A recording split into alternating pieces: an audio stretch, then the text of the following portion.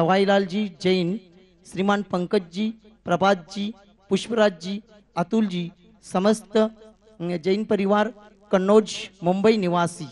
इनके साथ आएँगे आज पंकज जी, जैन पारस चैनल वाले प्रेमी जी, राकेश जी, अशोकनगर, राजीव चंदेरी, राकेश चक्रवर्ती, अशोकनगर, दिलीप जी, भुरे, शिरपुर, प्रवीण जी, डोनगांव, देवेंद्र जैन, राहतगढ़ ब्रह्मचरी उषा दीदी जी और ब्रह्मचरी मधु दीदी जी। गुरुवर तेरे चरणों की, मुझे धूल जो मिल जाए। गुरुवर तेरे चरणों की, मुझे धूल जो मिल जाए। चरणों की रज पाकर तकदीर बदल जाए।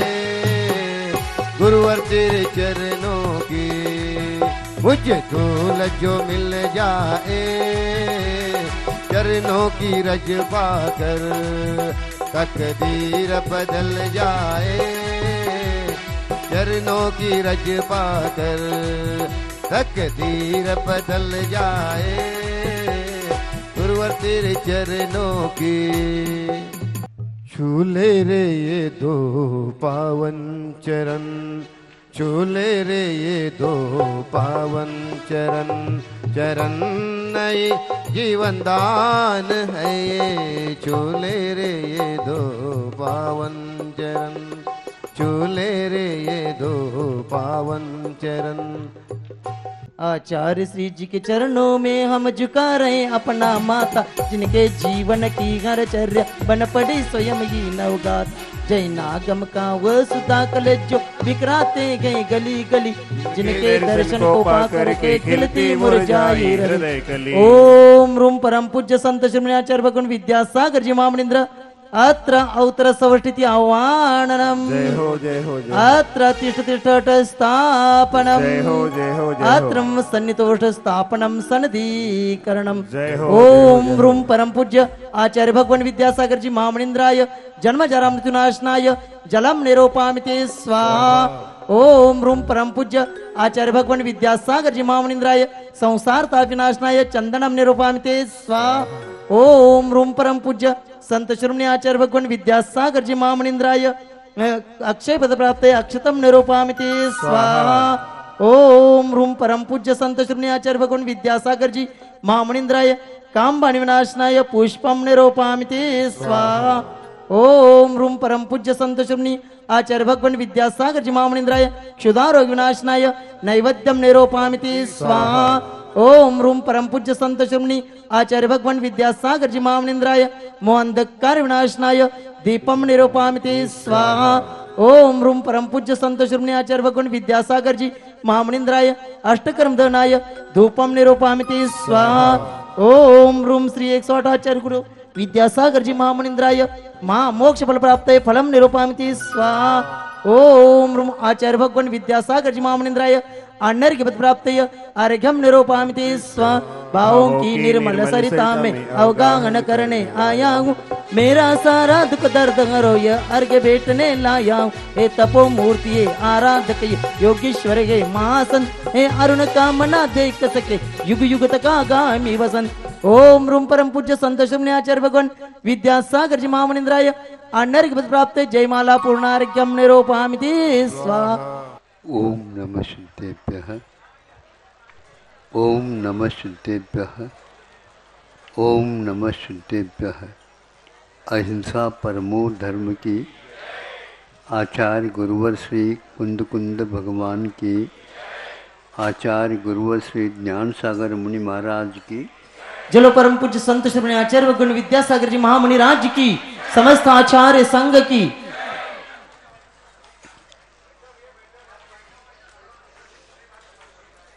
अभी आपने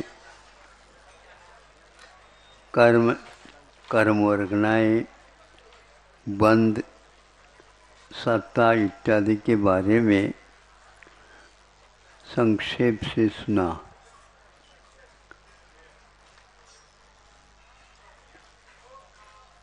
छह कारक, सात कारक मुख्य रूप से होते हैं। उनमें काम जो होता है, क्षमों में, क्षमों के बीच में होता है, अध्यात्म में बंध को स्वीकार करने का जो विभक्ति है, वह स्वीकार नहीं। इसलिए नहीं कि हम इसके साथ रह रहे हैं, किंतु हमारे साथ वह भी दे नहीं सकता और न ही हम दे सकते। इसको थोड़ा सा और खोल दे। पहले शुरुआत में बालक बालिका के रूप में रहते हैं। फिर इसके उपरांत युवावस्था में उनका विवाह हो जाता है।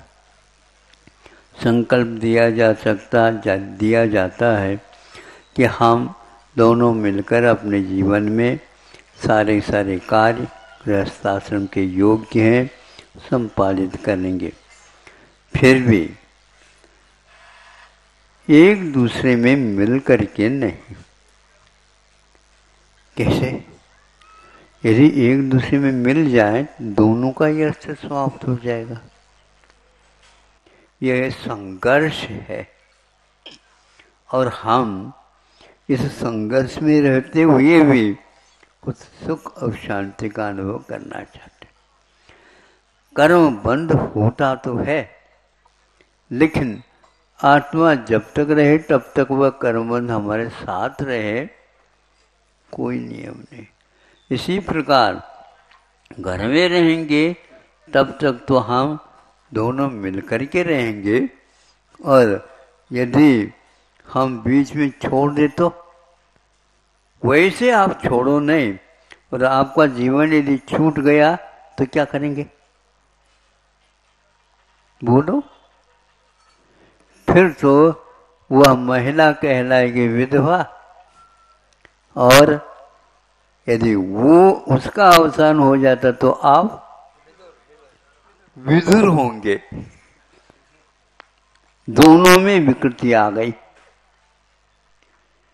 तो उसी प्रकार कर्मों का जब साथ होता तो है, लेकिन स्थिति के अनुसार अनुभाग के अनुसार उनके प्रदेश संख्या के अनुसार ही रहता है, किंतु वह अनादि संबंधी चो चो के द्वारा ये कहा जाता अनादिकाल से संबंध होते हुए भी इससे बिछुड़ना का नाम हमेशा के लिए मोक्ष है। आपको कौन चाहिए? कौन सा चाहिए? मोक्ष चाहिए। तो बंद मत करो। बंद नहीं करेंगे तो आप कभी भी बंद नहीं सीखेंगे। लेकिन मन चलापन होता है, राग द्वेष करते हैं, इसलिए बंद को प्राप्त होते हैं। अब यदि संकल्प हो गया और लिखित रूप से तैयार हो गया, अब कहीं जा नहीं सकते। हम तलाक देंगे लेवे तो भी तलाक होगा। वह क्या कहता है? हमारी आधा आधा हिस्सा दे दो फिर आप कहीं भी चले जाओ। हाँ। कई लोग कई बार शादी कर लेते हैं और तलाक दे देते हैं और मिला जो है दहेज वह अपने पास रख लेते हैं। वो भी कहते हैं नहीं आधा हिस्सा हमारा भी रहेगा। दिए थे मान लो दस लाख, और वहाँ पर करोड़पति है वो। आधा कर पहले विभाजन। सब में सब में। खेत हो तो खेत में। वास्तु हो तो वास्तु में। अब चलाचल संपदा होती है, उन सब में आधा आधा हिस्सा। हाँ तो अब क्या करोगे? बड़ी दशा, दुर्दशा है।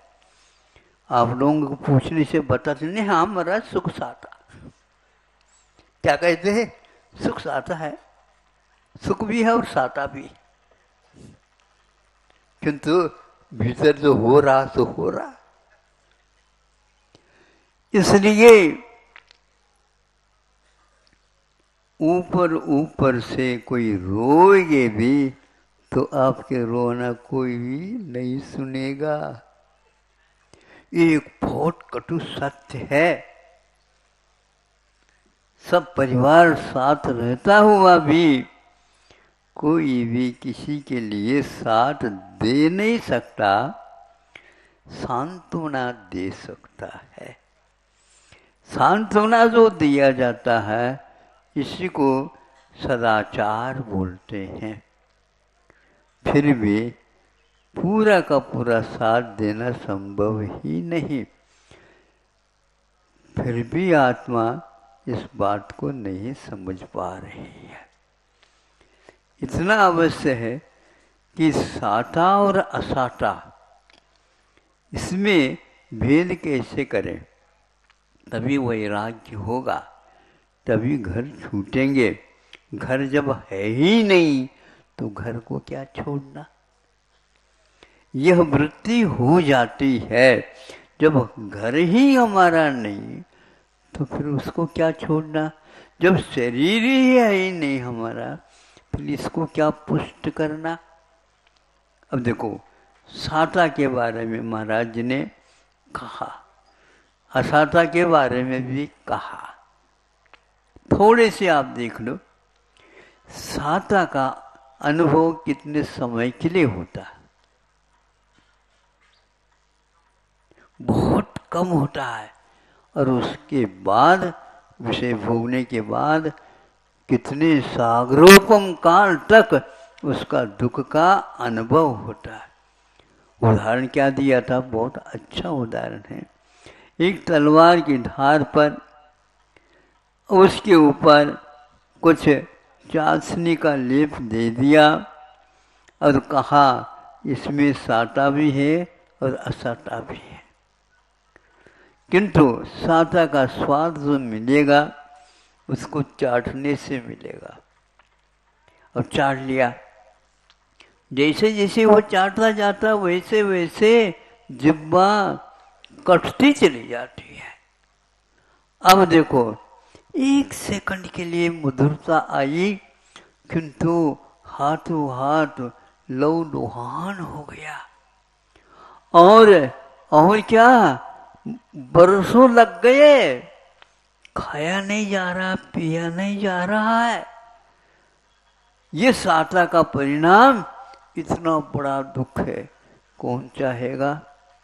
जो पागल होगा, वही चाहेगा। पागल क्यों हुआ? गाफिल हुआ, वही चाहेगा। गाफिल क्यों हुआ? मदरा का पान किया, इसलिए हो गया। मदरे का पान क्यों लिया?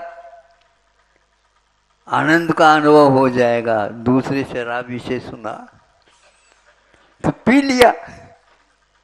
अब पीता ही जा रहा, पीता ही जा रहा। नशा चढ़ता ही जा रहा, नशा चढ़ता ही जा रहा। ये हिसाब है यहाँ पर।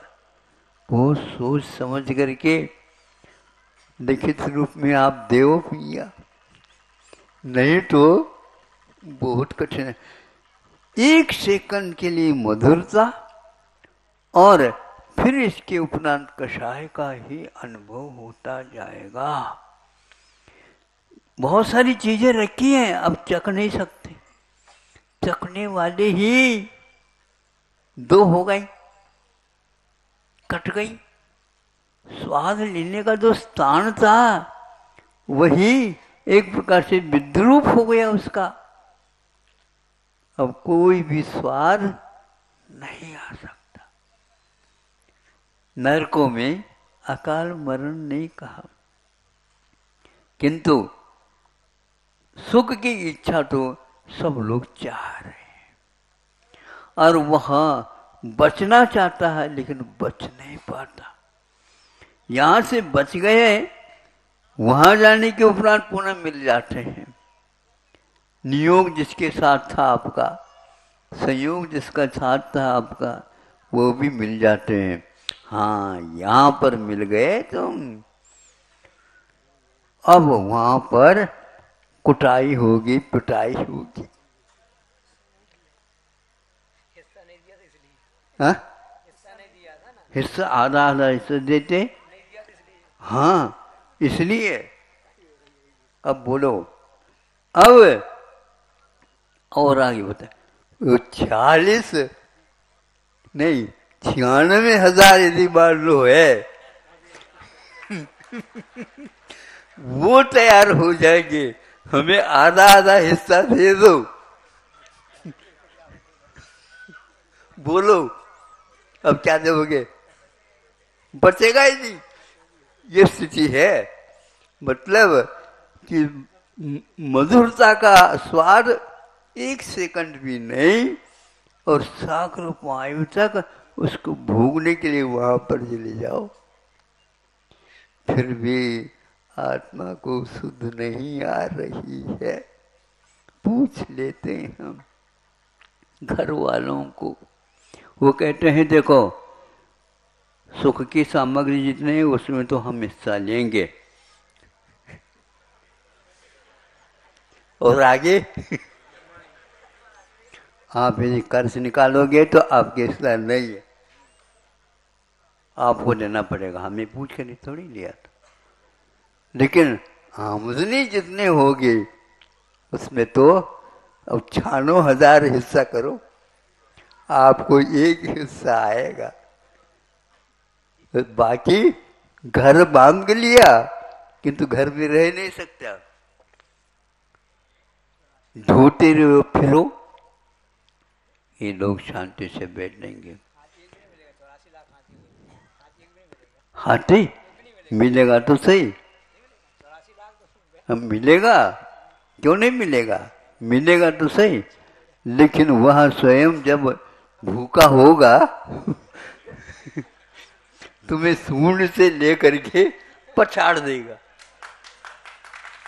हमें आपने खरीदा क्यों? हा? ये दशा है। फिर भी सब आप लोग मिल करके तब तक रहेंगे जब तक साता का उदय है। नहीं है तो सब अलग अलग होंगे। पक्का है? आपका अवसान हुआ ही नहीं। उठाओ भैया। उठाओ उठाओ। जल्दी उठाओ, नहीं तो बदबू आने लग जाएगी। और वहाँ पर उसको जल्दी जल्दी जलाओ। जला दिया, खाक हो गया। सब कुछ समाप्त हो गया। तीसरे दिन जाओ, राख भी न रह जाए। सब और ढूंढ रहे हैं वहाँ पर। कहीं सोलह चांदी तो रह नहीं गए ये दशा है, जब भेजते ही उस समय कुछ भी रहने नहीं दिया जाता। जितने भी आभरण वगैरह जो दिए गए थे, वो सब उतार करके रख लेंगे। दूसरे के काम में, अब देखो, दूसरा दूसरा क्या कहता है? भैया हमें बस। देव क्योंकि ये चढ़ा हुआ था।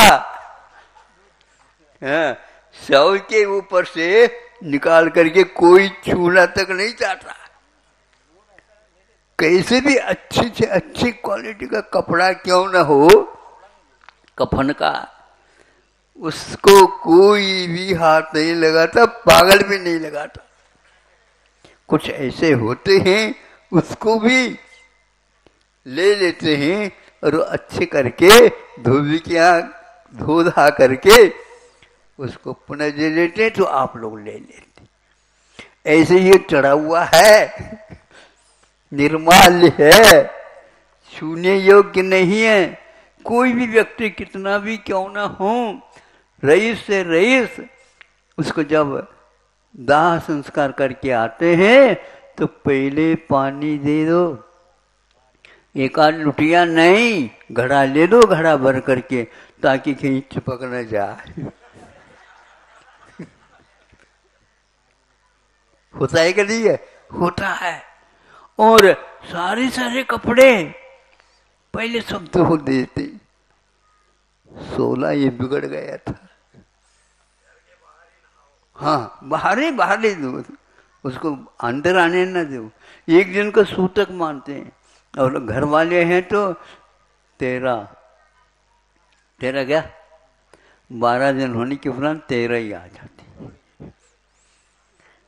ये हो गया, आपकी यात्रा पूर्ण हो गई। इसलिए अब पर्व भी पूर्ण होने को है। साता और असाता, ये चलते हैं। साता के लिए कर्म वर्गना एक कम आती है। असाता की जो वर्गना है, बहुत सारी रहती है। उसका भोग होता है।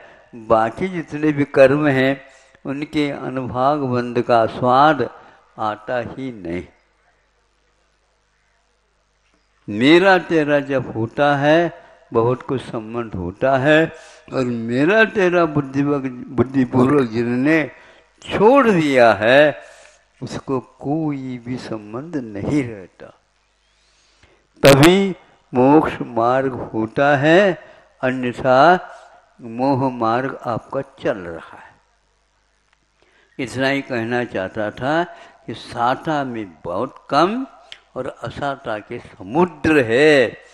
समुद्र में डूबना चाहो तो आप देख लो।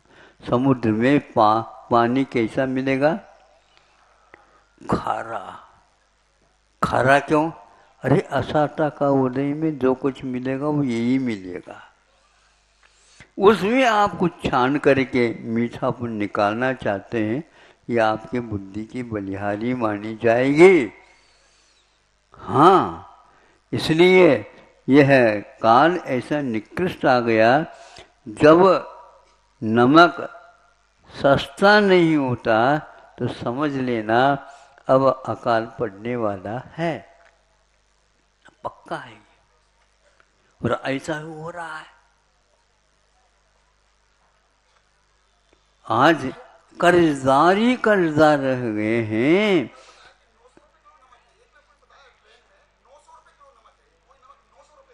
हाँ है मतलब वह ज़्यादा कीमत उसका बढ़ता जा रहा है, ये अकाल का प्रतीक है। सुकाल का नहीं। और पानी भी जब बिकने लग जाता है तो, तो और ही गड़बड़ हो जाता है। और पानी के ऊपर यदि मुद्रा तैरने लग जाती है तो समझ लेना अब डूबने का समय आ गया है। इसलिए ज़्यादा न कह करके आप को आकुलता हो जाएगी या तो साता या तो असाता। दो ही है। तो अकाता असाता या असाता का अनुभव, पर्व के दिनों में साता का ही अनुभव हुआ। अब असाता के लिए जाना चाहते हो तो जा सकते हो। दस दिन में एक दिन ऐसा मिलता है, विशेष उन व्यक्तियों को जो मूक साधना के साथ जहाँ कहीं भी रहते हैं, वहाँ पर अहिंसा धर्म की जय बोलते रहते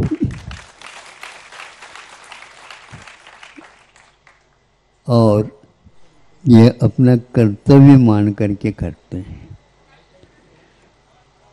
यह कर्तव्य बहुत हल्का नहीं है, बहुत भारी है। इसमें समय भी देना पड़ता है। अर्थ को भी देना पड़ता है और लोगों से संकोच किए बिना मांगा भी जाता है। प्राय करके दूसरे से मांगना अच्छा किसी को नहीं लगता। बिल्कुल ठीक है, अपने स्वार्थ के लिए मांगते हैं तो अच्छा नहीं लगेगा। परमार्थ के लिए यदि मांगा जाता है तो वह बहुमूल्य माना जाता है। इसलिए हमारे प्रभु ने ये बताया, परस्पर उपग्रहो जीवाना। ये जीव जीव के ऊपर उपकार करे, अपने विशेष गुण की रक्षा करे। अपने पास यह गुण है कि दूसरे की भी हम रक्षा कर सकते। किंतु स्वयं की रक्षा करते हुए आगे बढ़ेगा, वही व्यक्ति ये कार्य कर सकेगा। परिवार को भी देखना पड़ता है, लेकिन ये भूलना नहीं चाहिए। आप लोगों के यहाँ गाय हैं, भैंस हैं, या और घोड़ा है, और कोई बैल है इन सब का पालन पोषण होता है। ये सिरपुर ही ऐसा ग्राम हमें उपलब्ध हुआ। इन दिनों में सर्वत्र खेती तो होती है, लेकिन यह, यहाँ पर ट्रैक्टर के माध्यम से खेती नहीं होती है। केवल बैलों को जोत करके ही खेती होती है। यह एक बहुत बड़ा अच्छा कदम माना जाएगा। यदि वह ट्रैक्टर का रिवाज समाप्त हो जाए तो अपने आप ही किसान लोग इनकी रक्षा कर ही देंगे। और निश्चित है, ये दया का एक प्रकार से सबसे ज़्यादा विस्तार माना जाएगा। लेकिन पश्चिमी हवा के कारण पूर्व उसके चपेट में आ लिया। किंतु उसमें आज बहुत कुछ, अब यह रिवाज ही, परंपरा ही एक प्रकार से अहिंसा को धक्का लगाने वाली है। खाद भी समाप्त हो रहा, बीज भी समाप्त हो रहे हैं और एक प्रकार से पशुओं का पालन भी एक कष्टप्रद माना जा रहा है। एक सप्ताह पूर्व में यह तो यहाँ पर भी रिवाज है, परंपरा है। दक्षिण में भी ये है, कुछ अंतर को लेकर के मनाया जाता है।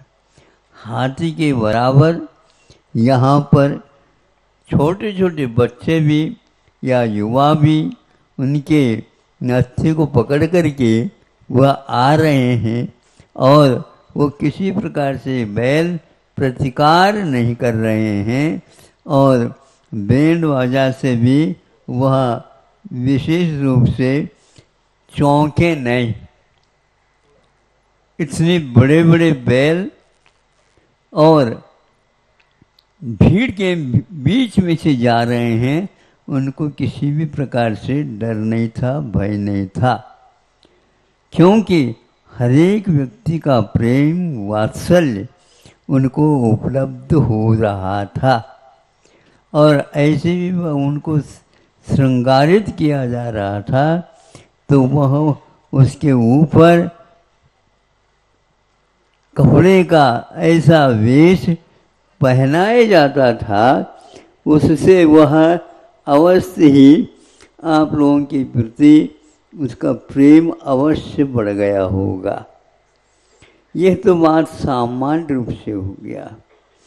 किंतु प्राचीन इतिहास के अनुसार हमारे पास बहुत सारे शास्त्र, प्रथमान योग और महत्वपूर्ण कर्म सिद्धांतों में भी इसका एक प्रकार से अवशेष अथवा यूँ कह दो, प्रवाह के रूप में इसकी का उपयोग है, ये बताया गया है।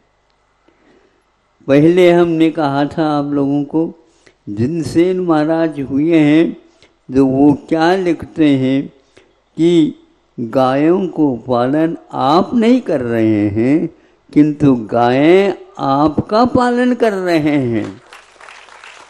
ये आपको बहुत गहराई के साथ सोचना चाहिए।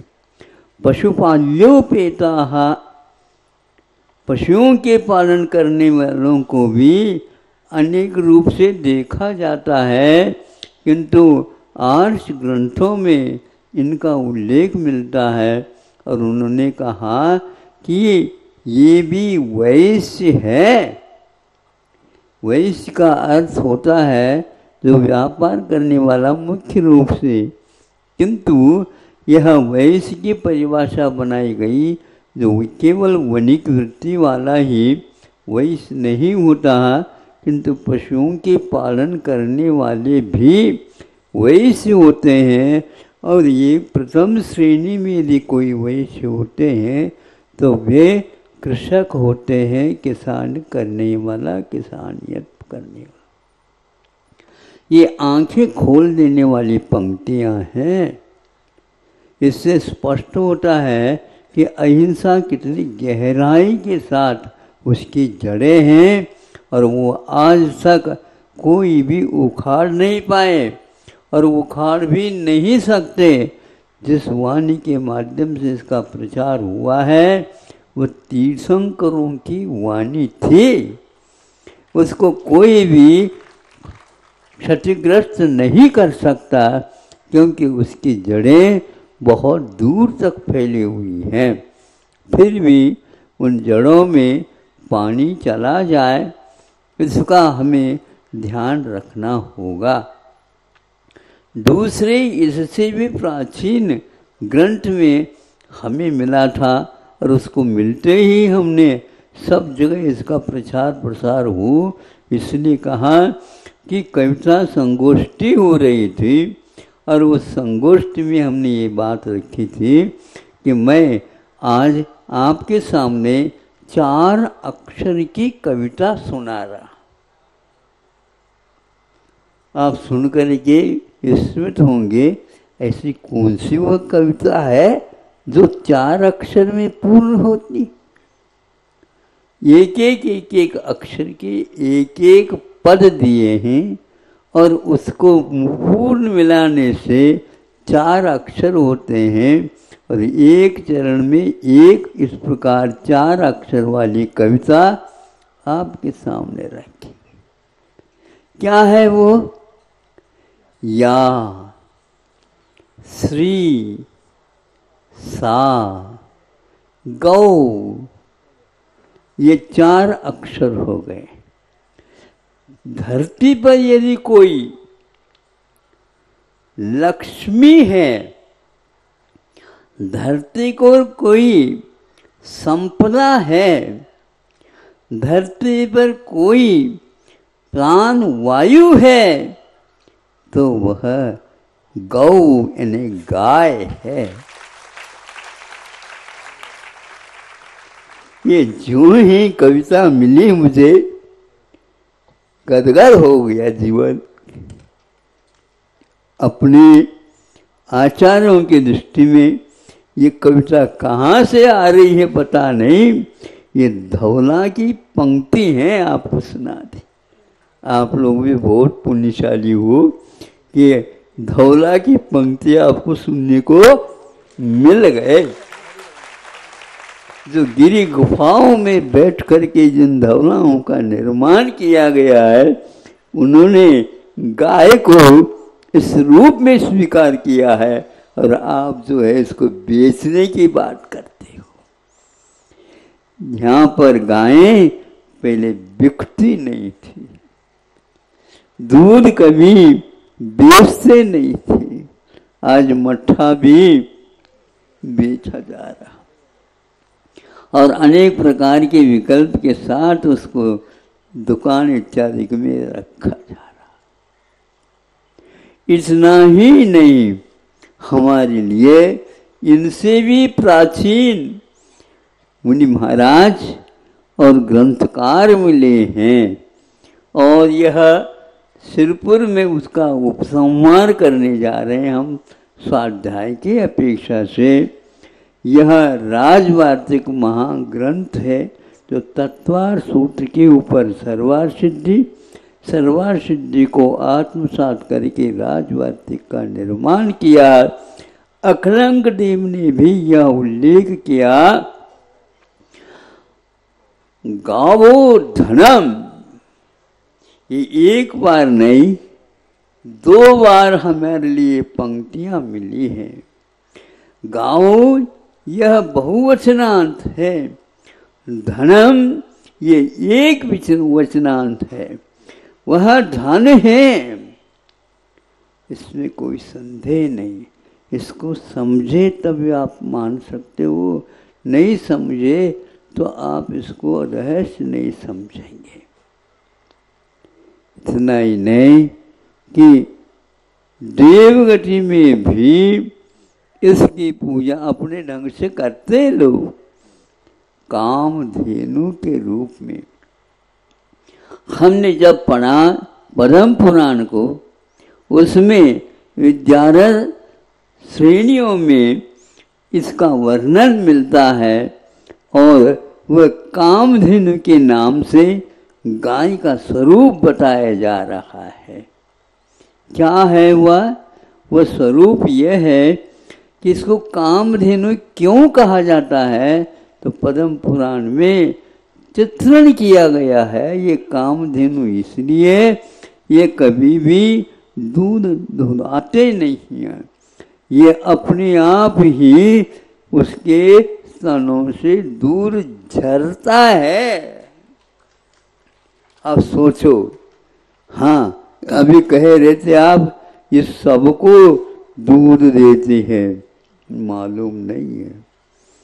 आप सोचो, उसके पास जब जब दो बंदर गए, और उनको बंदर को संभव है, माँ ने दूध पिलाया, नहीं पिलाया, गाय बैठी थी या खड़ी थी, उसको जा कर के वो दूध पीने लगे, और उसको उसने ठुकराया नहीं अच्छे ढंग से।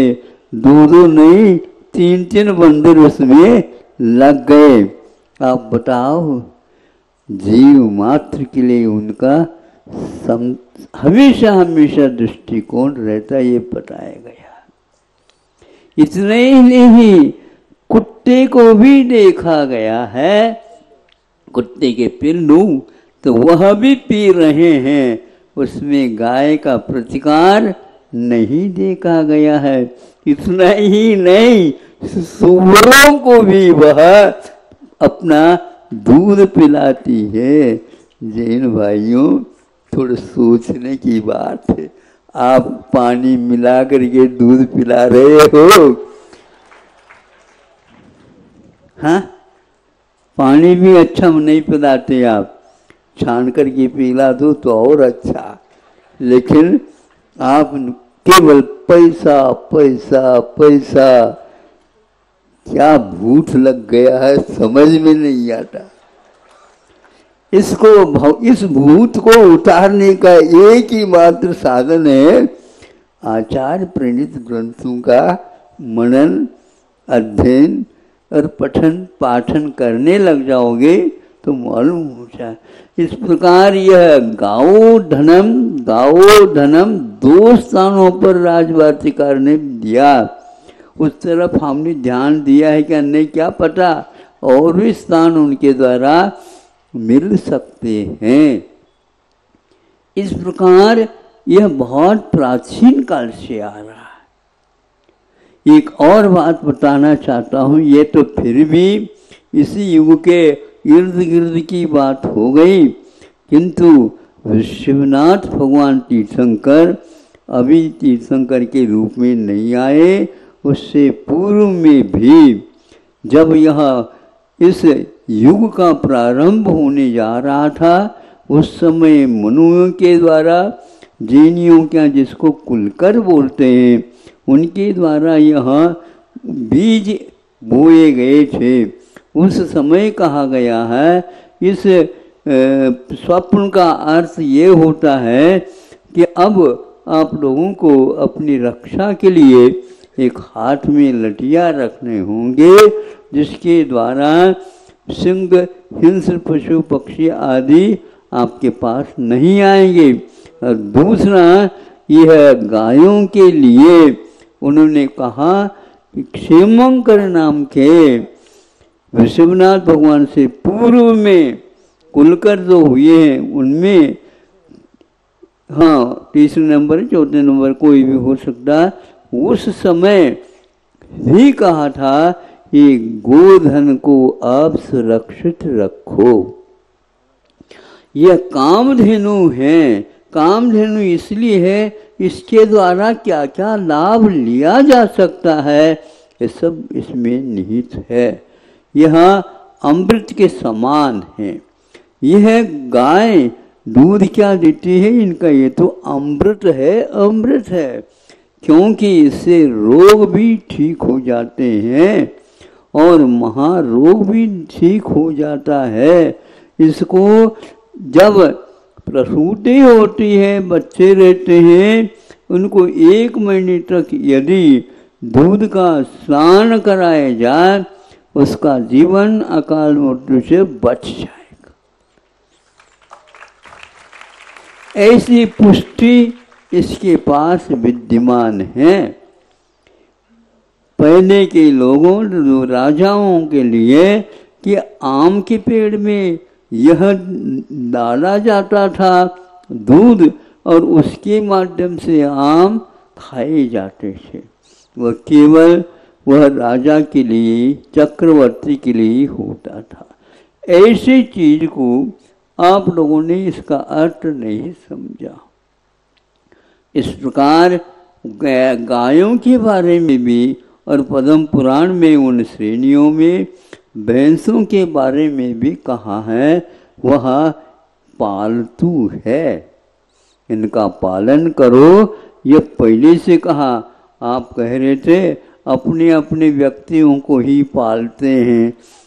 अड़ोस पड़ोस को नहीं देखते थे, लेकिन आपकी वंश परंपरा में औरों को क्या पालतू जो जानवर होते हैं, वो भी आपके यहाँ पलते थे।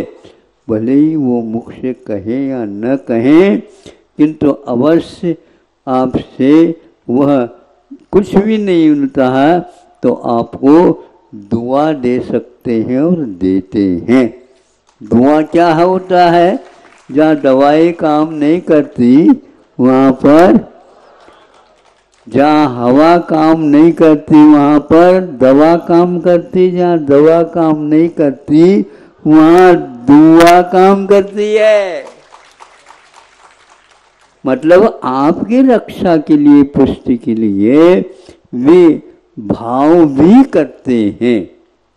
इसके माध्यम से हम ये कहना चाह रहे हैं कि हमेशा हमेशा उन प्राणियों के प्रति, आप लोगों के घर में कोई व्यक्ति आ जाता है तो उस दिन वह शोर शोर को बोलते हैं आप शोर शोर लग जाता है।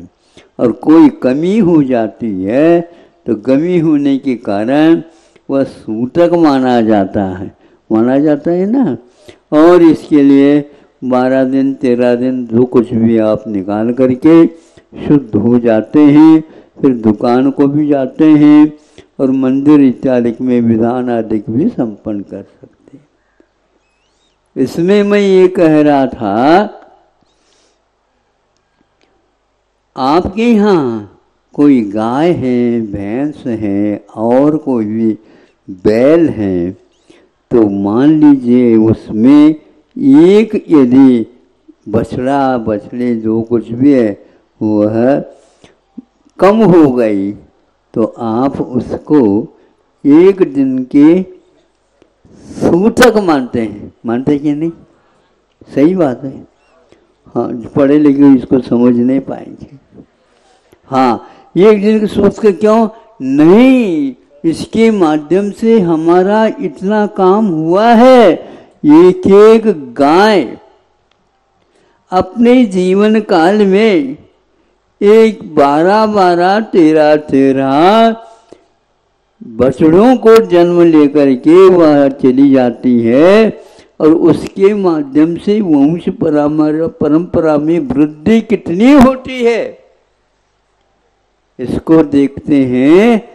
तो आप इसका हिसाब किताब ही नहीं लगा सकते। सी वालों से हमारा कहना ये ऑडिट करके हमें बता दें।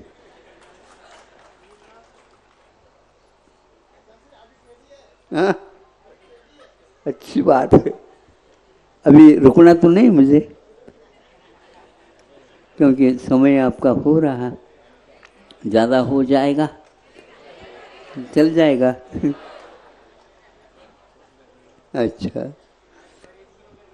अब ऐसी स्थिति में आप बताओ एक एक दिन उस समय भी भी, प्राचीन काल में भी उनको पालते थे, इसलिए सौर और सूतक मानते थे। आज भी रिवाज है गाँवों में। अब हम कहना ये चाहते हैं, महाराज, ठीक है, लेकिन ज़माना तो बहुत बदल गया।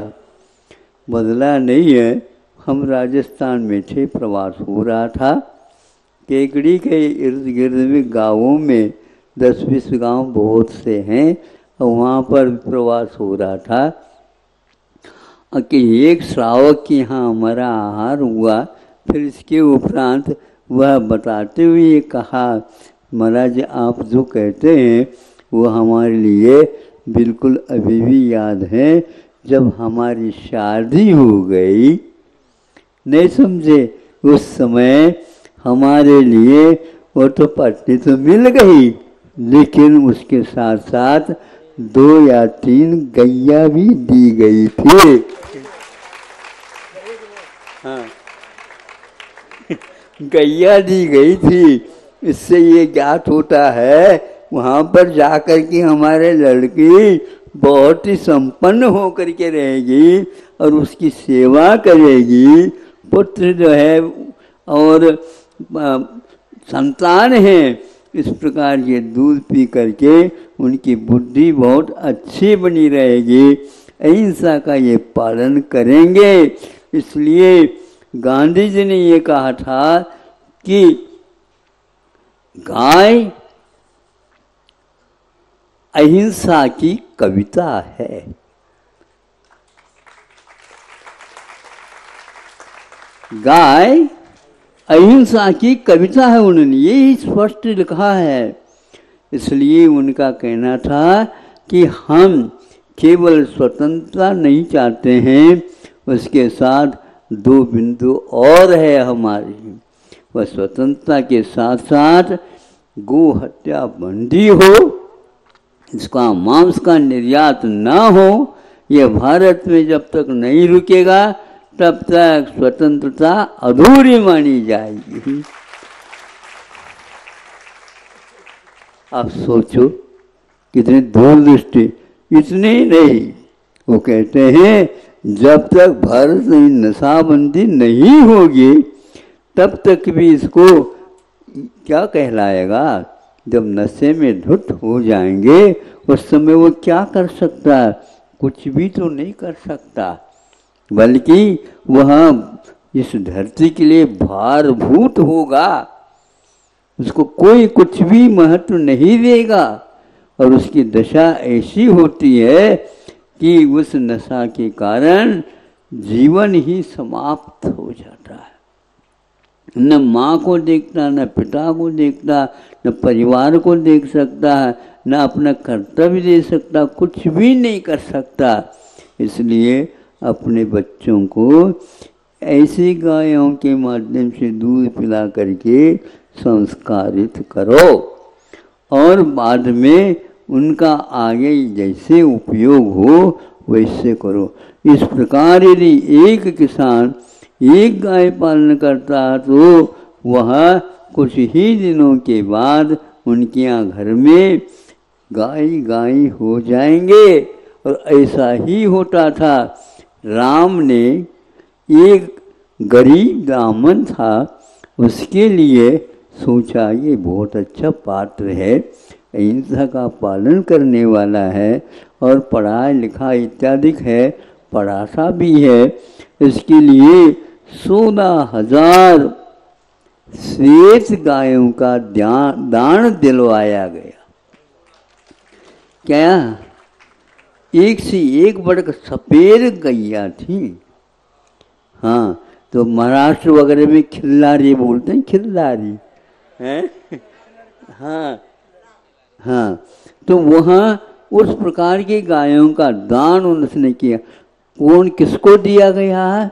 ये पूछो तो बहुत रोचक भाव है। यह उनको दिया जाए जिनके पास कोई अपने पैरों पर खड़े होने की क्षमता नहीं रही है, उनके लिए दिया जा। किंतु ये ध्यान रखना किससे दिलवाया गया, इन्होंने ये दोष किया, अपराध किया है इस अपराध के स्थान पर इनको ग्यारह इक्कीस, पच्चीस कुवत यदि अच्छी है तो उसके लिए सौ सौ गायों का भी दान, इसको गोदान बोलते हैं। आपके यहाँ आज चार ही दान रह गए हैं, लेकिन आपका दोष निर्दोष यदि हो सकता है तो गायों के पालन करने से हो सकता है। और सहर्ष वह दिया जाता था। ये कहाँ लिखा है महाराज? आपको क्या बताएँ? आप स्वाध्याय करते हैं क्या? नहीं करते हैं तो ये चीज़ मिलेगी नहीं। ये जो बातें कह रहे हैं, ये आजकल के आधुनिक उपन्यास पढ़ने वालों के पल्ला पड़ेगा ही नहीं। लेकिन इसलिए मैं कहता हूँ, आप जो पले हैं, उस समय यही परंपरा चलती थी, अब वह गायब हो गई है। इसलिए आप लोग इन बातों से अवगत होकर के यह काम करो।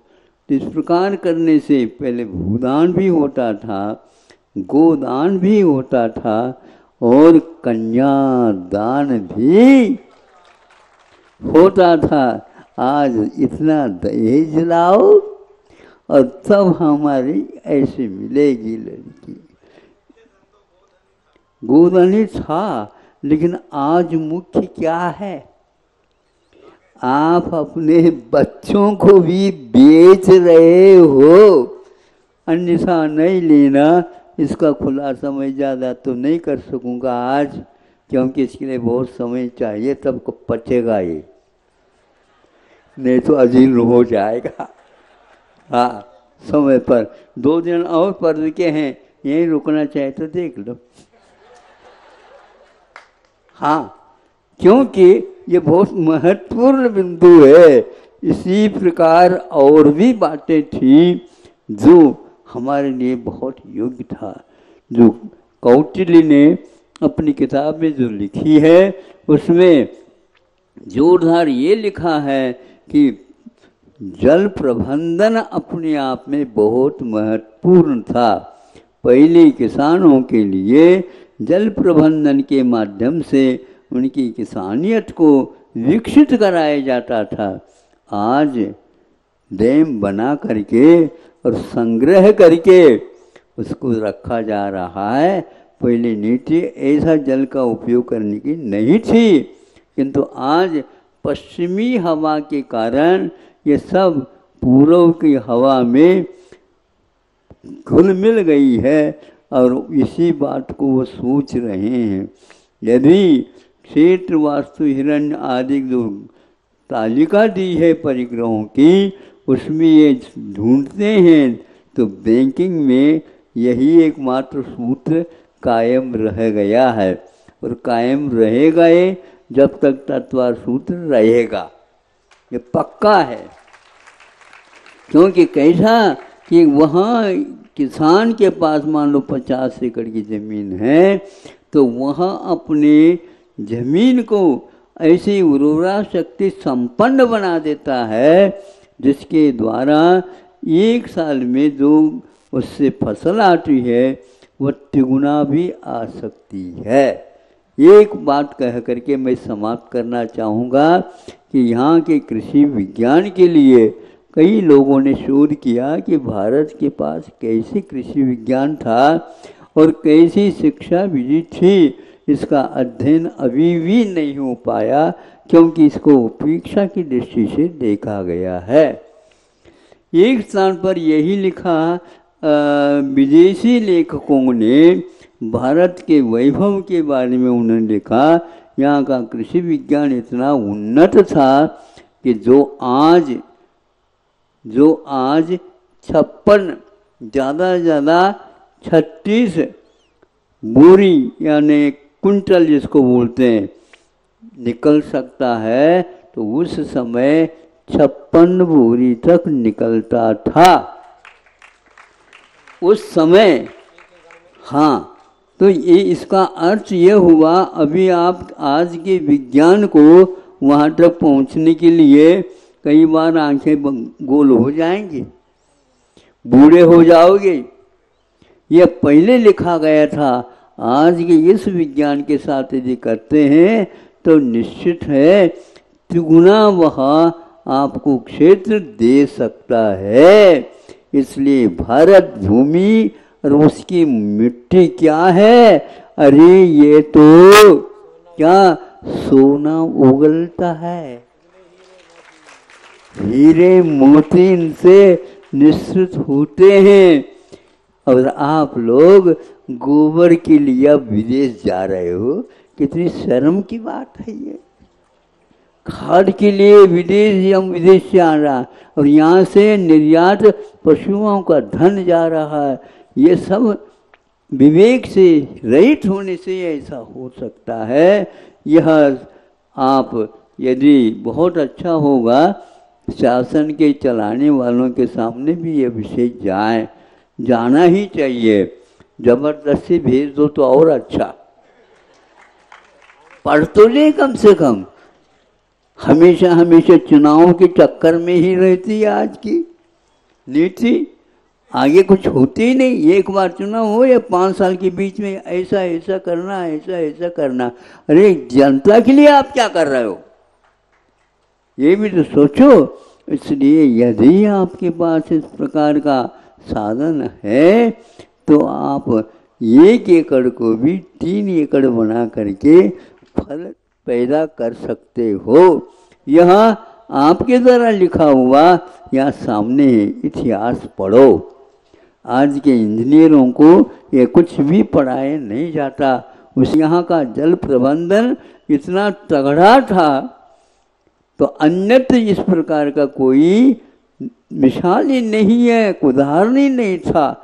ऐसा यहाँ का था तो संग्रह वृत्ति नहीं।